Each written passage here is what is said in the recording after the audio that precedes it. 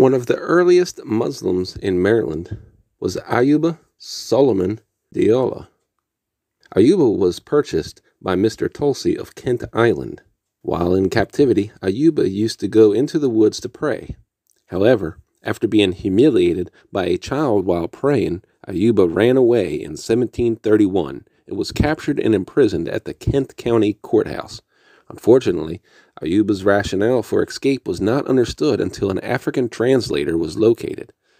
Able to communicate his needs, Ayuba's owner set aside an area for undisturbed prayer upon the slave's return.